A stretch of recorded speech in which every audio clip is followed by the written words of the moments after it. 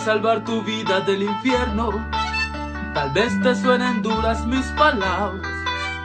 Dirás, no puede ser, Dios es amor. Porque eso sí lo dice en su palabra. Pero también Él es fuego consumidor. Un minuto de tu tiempo te da la oportunidad de ser salvo por mi Cristo y gozar la eternidad. escuchar puede ser muy lamentable, pues te puedes condenar.